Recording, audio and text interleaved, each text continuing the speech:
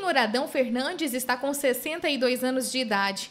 Ele e a esposa, Dona Cirlei, são moradores do Cidade Alta e sempre gostaram de flores. Agora que o benefício dele foi cortado, é daqui que ele tira o sustento da família. Eu simplesmente planto minhas plantas.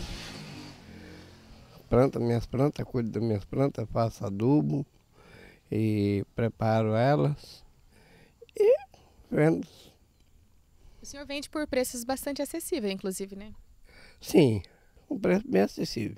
O senhor Adão é mais um dos beneficiados do INSS que teve o benefício cortado mesmo com doença. Há oito meses que ele está nesta situação. E por enquanto, o que ajuda é a venda de várias espécies de mudas de flores, dos vasos de cimento e também dos vasos de madeira, que ele aprendeu a fazer através da internet. De uma cidade do Rio de Janeiro, a mulher fazendo e transmitindo via internet, aí eu comecei a olhar, minha esposa me chamou, mostrou, eu falei, eu vou fazer.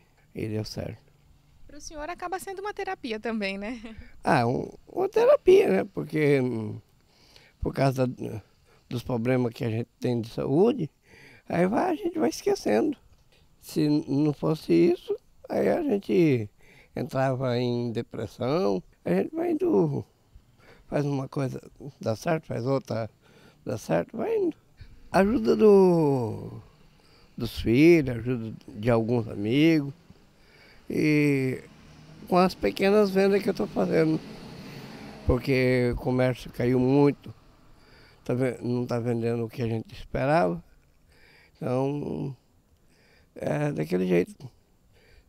Quem tem amigo tem, quem não tem, então, os amigos a gente agradece muito, muitos amigos que têm ajudado a gente. Agora, quanto tempo o senhor leva para fazer, então, esses potinhos, né? E qual a variedade que o senhor tem aqui?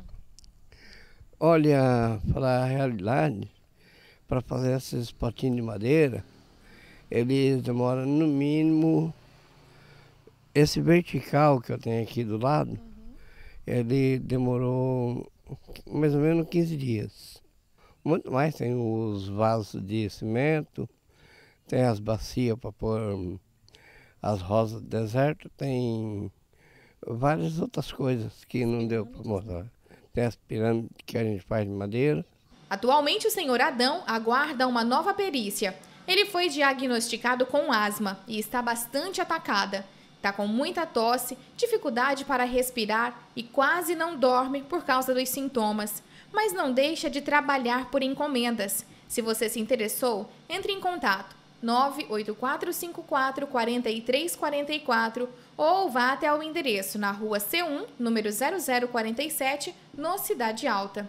Mais ou menos oito meses que eu não recebo meus benefícios.